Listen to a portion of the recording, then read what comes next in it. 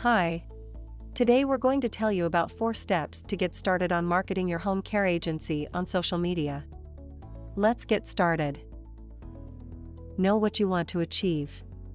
Jumping into the executions right away will result in a strategy that is all over the place. On the other hand, establishing your goals first helps you put together tactics that work toward the same thing.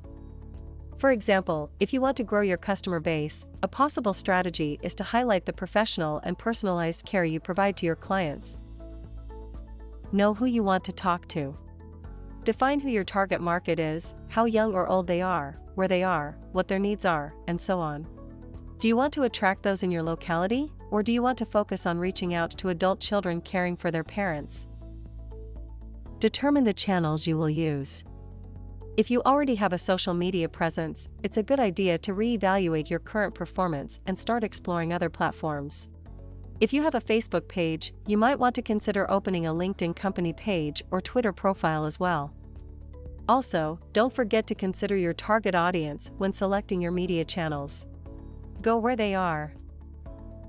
Work on your content plan. Your goals. Ensure that the content you will produce is instrumental in achieving them.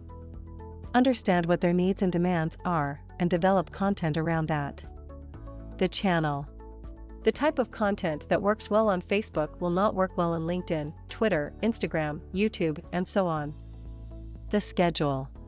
Establish a timeline for your content and make sure that you post regularly to keep driving traffic to your website and getting closer to your goals. Hope you found the information useful. Don't forget to subscribe to our YouTube channel and check out our videos with other great Google marketing solutions for your business. Thank you.